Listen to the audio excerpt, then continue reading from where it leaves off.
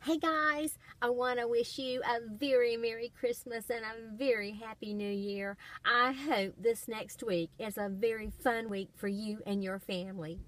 As you take this time to be with loved ones, treasure them, love them, and make sure you make every minute be special.